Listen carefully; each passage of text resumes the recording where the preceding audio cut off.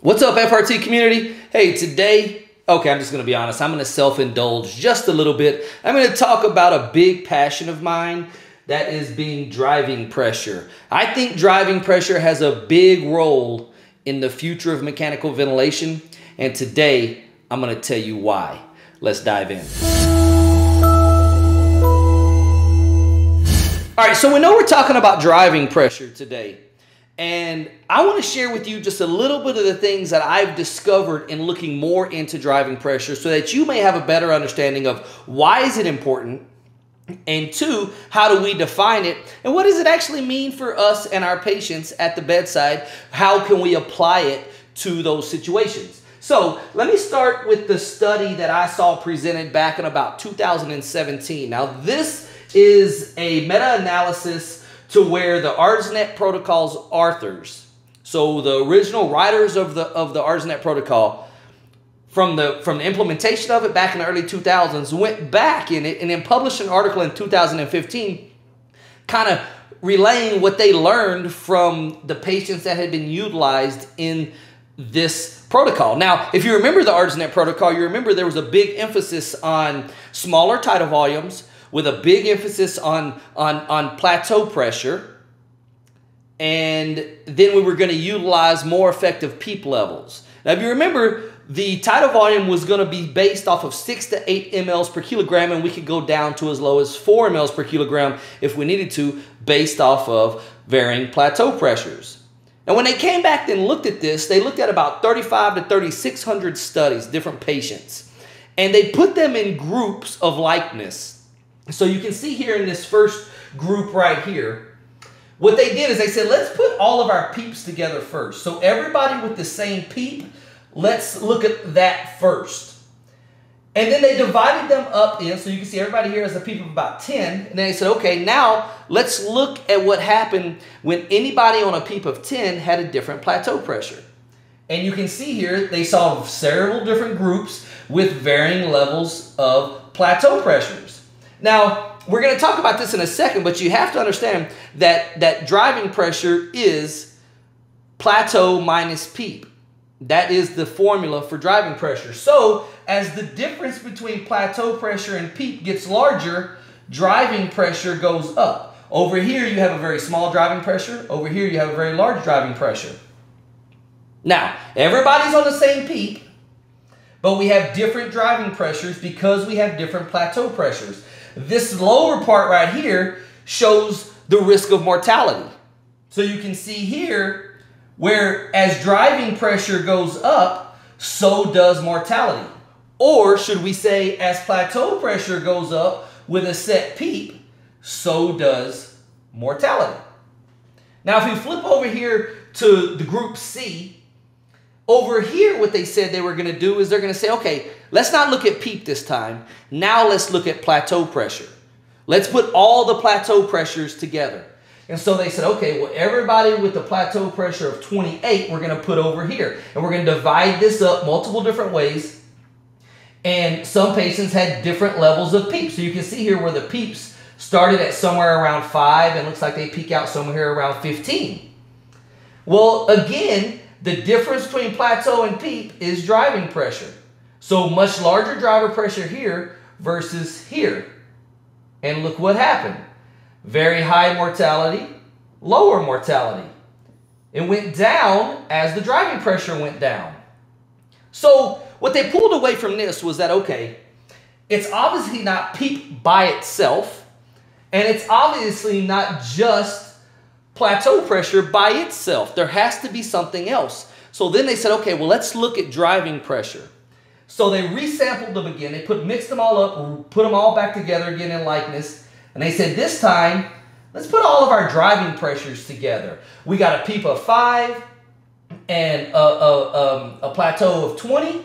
Okay, that's a, that's a driving pressure of about 15. Let's keep that the same. So you can see the driving pressures between each of these are about the same. Look at the mortality. It became basically flat across the board. So what this shows is, is that while a, a, a plateau pressure over here had a higher mortality, The same plateau pressure over here did not have a higher mortality because the PEEP was higher. And this supports this idea of driving pressure being a marker of mortality. Now, other studies have gone on to, to, to illustrate that driving pressure beyond mortality also with a lower driving pressure reduces ventilator induced lung injuries and pulmonary complications. So, if we can agree that there is something here good about driving pressure, then now let's just figure out a way to define it so we know what it is, so we can talk about it and explain it. Now, when we look at that, here's the formula driving pressure equals plateau minus PEEP. Now, have you ever seen this before? Most respiratory therapists have. Where have you seen it before? Well, let's take it a step further. Plateau minus peak pressure is the bottom side of the static compliance formula. We know that static compliance equals tidal volume divided by plateau minus peak. Interesting. So you're telling me, Joe, that what we can really say is that static compliance equals tidal volume divided by driving pressure. And that answer is yes. That's exactly what I'm saying. If you can adjust your mind to think that static compliance is tidal volume divided by driving pressure, then you're going to start thinking about driving pressure with every single patient assessment you do when you're looking at your plateaus and doing your ventilator assessments. And that's going to be a big thing. Now let's move this formula around one more time to get us to a working formula that will help us define what driving pressure is.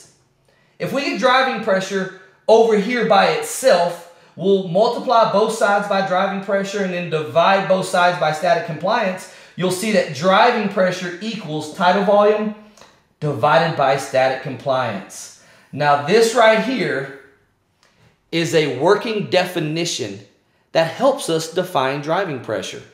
You see what driving pressure is, is it is the ratio of tidal volume to static compliance.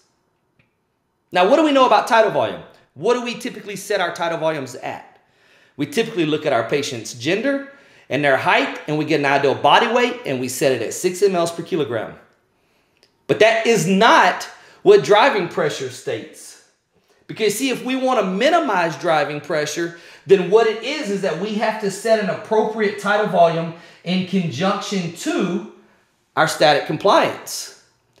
If you have a, a tidal volume, even if it's 6 mLs per kilogram, but in the presence of a very, very reduced static compliance, then that is going to result in a high driving pressure because while that tidal volume may be appropriate based off of ideal body weight, it is not appropriate based off of the patient's static compliance, resulting in an increased driving pressure. So we, we, we could essentially learn to use this to be an indicator to the appropriateness of our set tidal volume based off of our patient static compliance. I got one more illustration I want to show you here to make this kind of ring, maybe make a little bit more sense. Uh, this right here is just going to illustrate four different elements of what happens during inspiration. So with this first one right here, we see that we're starting at expiration, and so this would be PEEP right here. And you can see in these regions right here, we're not even starting at a very good level of, of, of optimization of PEEP. We still have regions of the lungs that are not aerated. We just got a little bit of good aeration right here, right? Now, when we put a tidal volume on top of this small area, we see that what we essentially get is overstretching of that area. This leads to a higher driving pressure and a higher stress index, and is eventually going to lead to pulmonary complications, ventilator induced lung injuries, reduced positive patient outcomes. Now, this second one right here shows where we're starting basically in the same point. Still not well aerated to begin with. But during inspiration, we get better distribution of alveolar gas. You see the difference here? Where we're coming down here with the tidal volume to where up here we basically just overstretch the healthy, healthy alveoli. Well, here we're getting better distribution. But because we started so low, we still get these elements of overstretching. This is going to lead to an increased driving pressure, increased stress index, and increased risk for pulmonary complications. Now, C right here is the place where we want to be. You can see we're starting at a much better aerated region. We are starting at a place of well homogeneous distribution of gas. When we deliver the appropriate tidal volume on top of that PEEP level for that static compliance, then we see good aeration of all lung fields without overstretching or overstressing of any alveoli. This is going to lead to a minimizing driving pressure with a minimal stress index. This is what we're looking for. Hold the alveoli open at a place that leads us to good compliance and then give an appropriate tidal volume and will reduce risk for pulmonary complications, ventilator-induced lung injuries. I keep saying that over and over, but it's important to understand the connection between the two. Anytime we are overstretching alveoli, then pulmonary complications, ventilator-induced lung injuries, and, and other markers such as mortality are going to work in the negative favor of the patient. Now, this last one here, basically shows where we are starting at a place of too much PEEP. So you can see these two little markers right here are saying, hey, we're starting at a place of overstretching. So if you start overstretched, then it doesn't matter what tidal volume you put in, it's going to lead to severe overstretching of the alveoli, which is going to lead to an increased driving pressure and an increased stress index. Now, I tell you all of this just for you to hopefully have a better understanding of driving pressure.